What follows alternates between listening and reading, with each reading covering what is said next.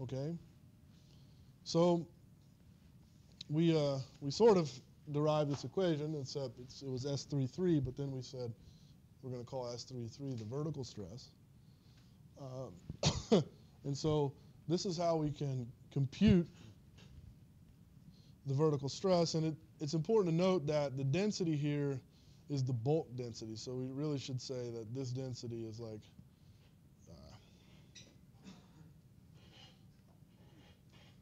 the bulk density. And that, that's due to the fact that, you know, below a few tens of feet, you know, down to the below the water table, the the earth has got solid grains. It's made up of solid grains.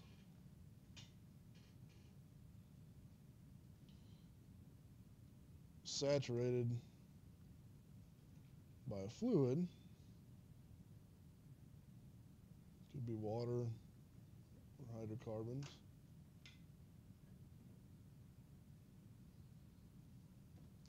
And so the bulk density is the density of the fluid times the volume fraction of the fluid plus the density of the solid times the volume fraction of the solid. And another way to say, there's another, I said volume fraction, but there's another word for that, especially when you just have fluid and solid. What's the volume fraction of the fluid? There's another word for that. Porosity, right? Yeah. Saturation would be if you had two fluids and you're, you're, one, the volume fraction of one with respect to the other. But when you're talking about a fluid and a solid, you can sort of lump all the fluids together, right? And the total volume fraction of all the fluids is also known as the porosity? So most rocks it have you know, 15%, 10% porosity. So the bulk, in that case, the you know, say it was 10% porosity, then the the bulk density would be the density of water. Uh, if it's a water saturated fluid, it'd be density of water times 10% plus the density of the rock times 90%. Right? That and add them together, that's the bulk density. So then you just integrate this equation. Uh, you know, we're going to assume that you can assume for the most part that the gravity is a constant, right? And you integrate over the z direction, where you know the z direction is going to be the direction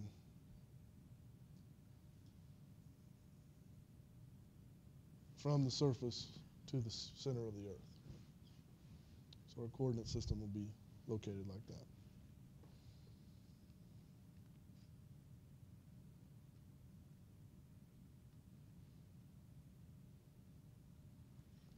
Now in offshore areas, so in offshore areas we have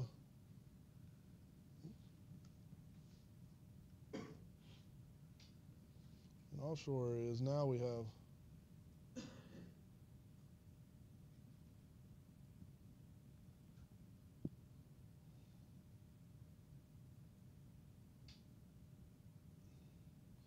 some water there and you know our, our z coordinate's going to be the same from the surface pointing to the center of the Earth. But we have this region where we have water. Well, the density of water is, for the most part, constant. Right? The density of water is constant. So now we can just take the density of water multiplied by gravity multiplied by ZW. So this point right here would be ZW, right? The depth of the water.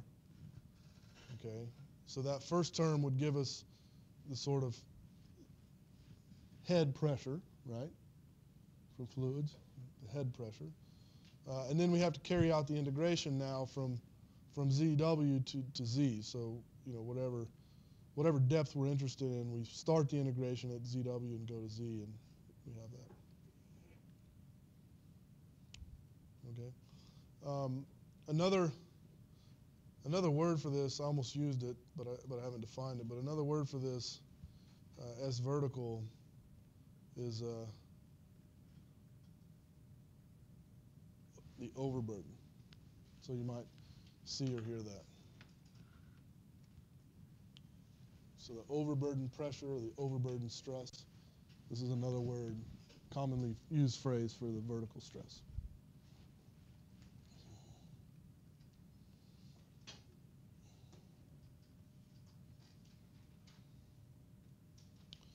So a couple rules of thumb. The density of water is one gram per centimeter cubed. That's in fact the definition of a gram, right? I mean, that's how they came up with it. And that's what a gram is. So, um, uh, you know, the, the mass of a cubic centimeter of water. Okay, so that's easy, and that increases at a rate of about 10 megapascals per kilometer. So that's something that's pretty easy to remember: 10 megapascal per kilometer. Okay, so that's that's the uh, that's how the that's how the stress, the overburden stress, increases. 10 megapascal per kilometer, right? So, if I ask you um, what's the vertical stress at two kilometers? What is it? 20 megapascal. Very good. Right? So, uh, or you know, another way, way to remember is, I'm sorry, two kilometers into the ocean. so that two kilometers into the ocean, which I guess would only occur very, very deep in the Atlantic Ocean. Uh, yeah.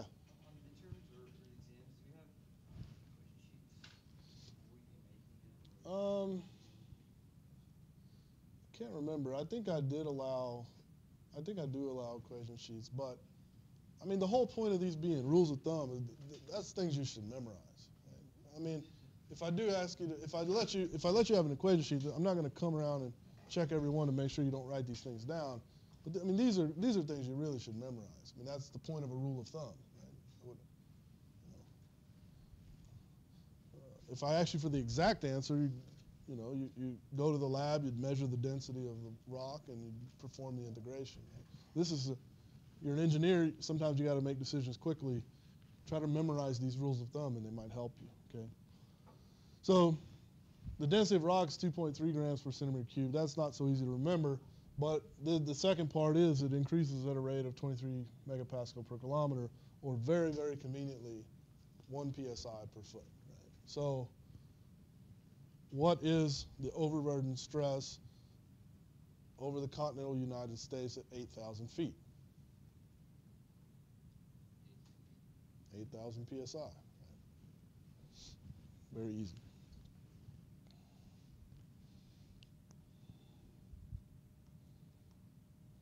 Okay. So if we do have a density log, we can, you know, we can get a more exact answer because we can we can integrate that equation. And now I got to stand up on my soapbox for a second. I actually uh, I hate this plot for numerous reasons, but it's in the book, so I use it.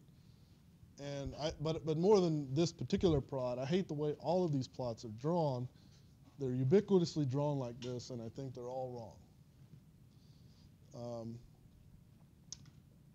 you know, when you when you make a plot, you shouldn't you shouldn't label the plot like X versus Y. It's not a fight. It's not two people boxing each other. Right? It's it's uh, you know really what you should say is, and, and really you shouldn't even say X versus Y, but you would say Y versus X, right? But it's y is a function of x. That's the way it reads. Right? So apply that to this plot. And ubiquitously, since we've ever seen a plot when we were in elementary school, always the dependent variables on this axis, right? So without any other knowledge about than what you learned in elementary school about figures and what I just told you about how to read a plot in words, this says that depth is a function of density. Does that make sense at all? That implies that this is the that that implies that we're changing the density and measuring depth. We're not, right? We're changing the depth by drilling and measuring the density. So at a very minimum, in big bold letters somewhere, if you're going to plot it like this or everywhere, you should say that this is the one case where we're going to have the independent axis be the ordinate, you know, the, the y-axis the independent variable. Right? And I mean, there's other reasons it sort of doesn't make sense. I mean, a, a lot of reasons you, you plot something is because you want to know the rate of change of something, right? So you try to read off the rate of change of, you know, the rate of change of depth with respect to density. well, I mean, it's that right there, which is undefined, which means you know, that doesn't make sense. It's the derivative of the curve, right? The derivative here is undefined. But it's not, the density is not undefined, and the rate of change of density with respect to depth, which is a more sensible question, is a constant in that region. And it's a constant in that region, why? The rate of change of density with respect to depth. I'm going down, and the, and the density isn't changing. Why? Because I'm over water. I didn't tell you that there, but you can, well, I guess, I guess it does say seafloor. So it's over water. So you'll always see these plots, but it doesn't mean they're right. In fact, so you know, I, I, record my lectures and I post them on YouTube, and I don't hide them from anyone, so other people than you guys will watch them. And I had some guy write on there a comment one day. As a professor of petroleum engineering, you should know that these are the way the plots are always presented in this industry. It doesn't make them right. Okay? Doesn't make it. Just because something's always been done some way doesn't mean it's right. In fact, that's the worst reason anyone could ever give you to do something. Why should I do it that way? Well, that's the way we've always done it. That should be a, an alarm to, to say, well, is this the right way? It's like an answer you give a two-year-old, because I said so. anyway, um, yeah. So, so with this density log, uh, you know, the, the squiggly lines are the, the actual data, right? So this was the data that's actually taken from a density log, sort of in this region. And you'll know that you'll notice that you know the seafloor is up here, so there's sort of a gap in the data, and that's pretty standard. It has to do with the fact that density is really, really low at the sea density of the of the rock, you know, which is really sand and other stuff, right at the seafloor it's, it's very, very low and it's hard to get accurate measurements. So you'll, you'll often see uh, that the density logs won't start until some depth below the seafloor. And so this entire region in here is sort of an extrapolation, right? There's no, there's no real data there. Uh, well, in fact, this, this entire region is an extrapolation. Uh, but then once we, you know, from here down, we can, we can trust that data and, and we can integrate it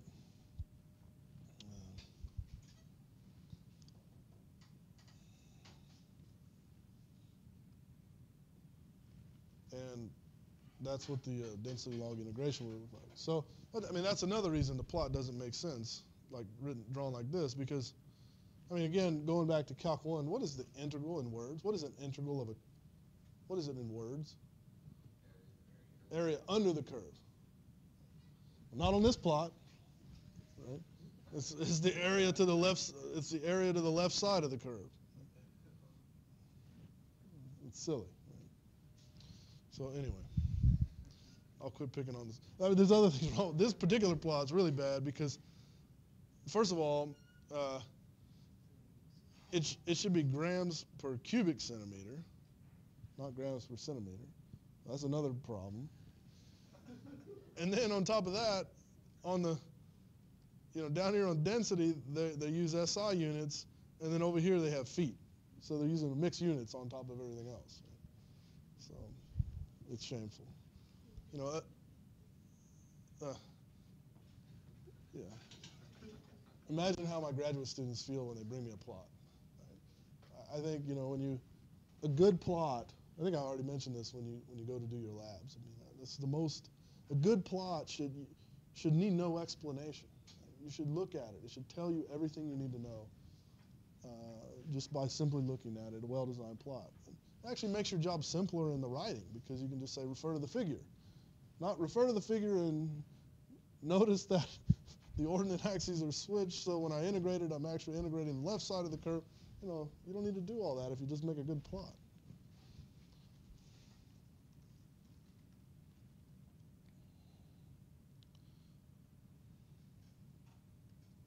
Okay, so back to this.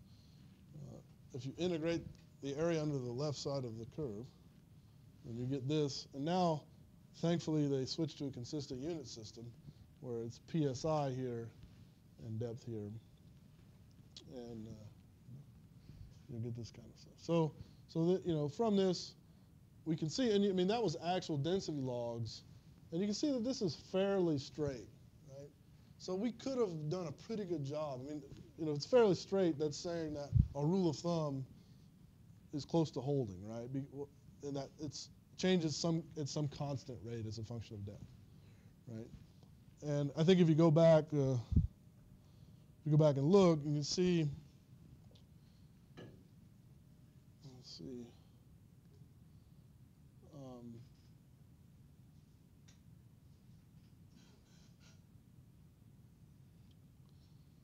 well, yeah, I mean, the, you can see that this sort of region in here doesn't change a whole lot. I mean, I, I was hoping it's uh, two point. Uh, 2.3 grams per centimeter. 2.3 grams per centimeter. So it's, you know, maybe it's a little off. It's more like 2.4 grams per centimeter, maybe. But uh, it's close.